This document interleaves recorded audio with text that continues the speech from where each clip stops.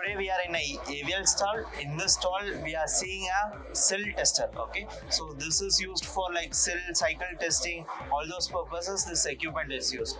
With me there is Christian from AVL. So he is going to just explain how this functions and what are the capabilities of this equipment. Thanks for the opportunity to introduce our new line of uh, uh, value-oriented uh, cell cyclers. This we call Eco line. Yeah? In contrast to our Performance line, we have a second line of uh, cell testers, which is targeting uh, customers that want the best of the best, best accuracy, best dynamics, all inclu- in- included features. What you have here is a product which is uh, very rugged and uh, optimized for 24/7 operation. It's still very uh, precise with uh, 0.02% of uh, full scale.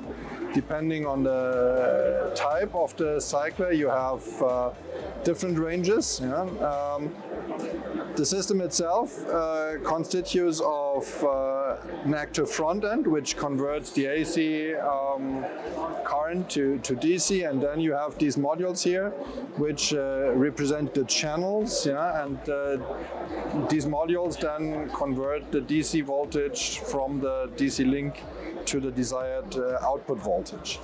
Yeah, so um, dynamics of this tester is also quite decent, uh, 5 milliseconds. Performance line has below 1 millisecond.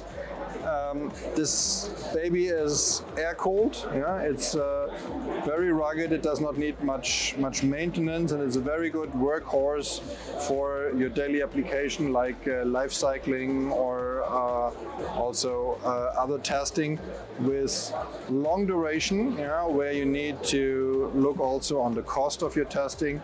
This is a very cost-efficient solution that we're presenting here. So this is used for only like cylindrical cells or prismatic cells. Like is there any cell type only which is used to, for cells because this goes uh, to 5 volts. Yeah, so 1.5 to 5 volt uh, voltage range.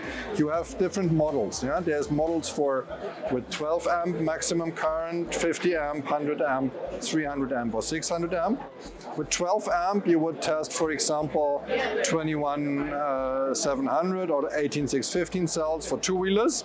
Yeah, uh, then you can put in such a cabinet up to 72 or 80 channels. Yeah, um, this is one cabinet with 80 channels this is mass testing. Yeah, um, and if you, for example, utilize um, 100 amp would be for the typical 4680 round cell.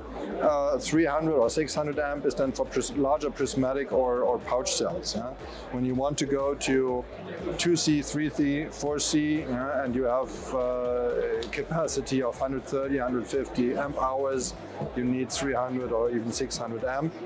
Yeah, and with this machine, you can also put automatically uh, with the test, fixtures you see behind you, um, very easily two channels in parallel, so you get twice the current.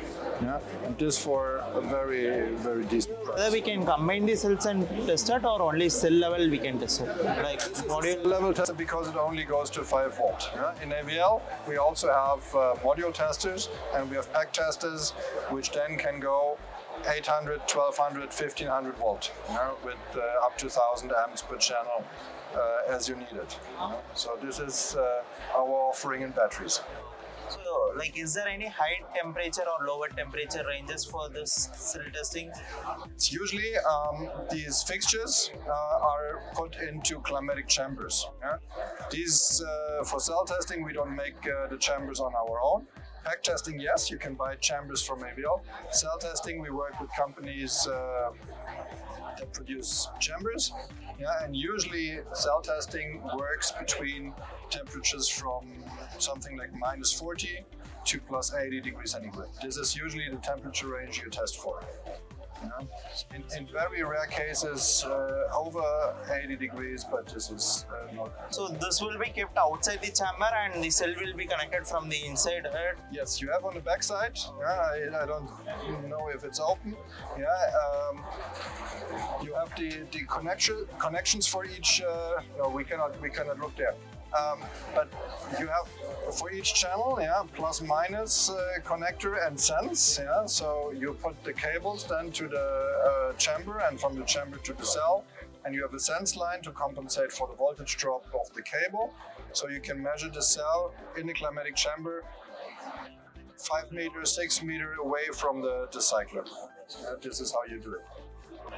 Thanks for the uh, equipment introduction, all those things. Thank you. Great pleasure.